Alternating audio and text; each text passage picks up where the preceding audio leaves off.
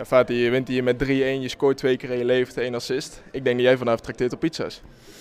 Nou, dat wordt geen pizza voor mij vandaag. Nee, nee, nee, nee. Waarom niet? Die hebben we al genoeg op. Uh, je speelde eigenlijk een hele goede wedstrijd, maar je komt al na vier minuten op achterstand. Uh, begonnen jullie niet scherp? Waar lag het aan?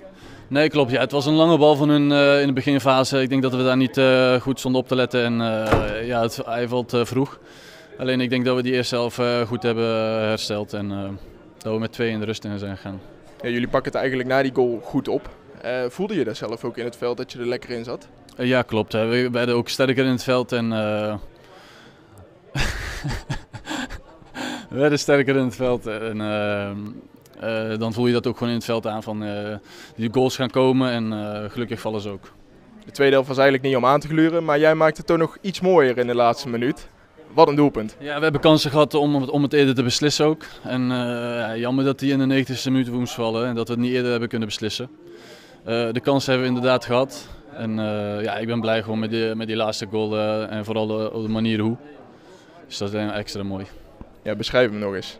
Wat gebeurde er? Waarom een stift? Van begin tot eind. Ik kreeg een, eh, een, bal van Dennis in de diepte gestuurd. En, uh, hij was iets aan de korte kant. Uh, verdediger maakte een sliding en de bal komt voor mijn voeten terecht. Ik loop op de 16 af en ik zie Jordi een beetje uit zijn, uit zijn doel komen. En ja, ik dacht, ik doe het gewoon.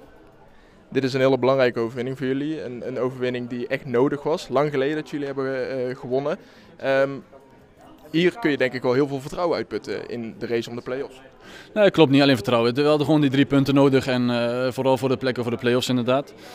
En uh, ja, gewoon belangrijk. We moesten gewoon winnen. Meer niet. En dan morgen weer in de pizzeria werken? Nee, nee, nee. Weekend vrij.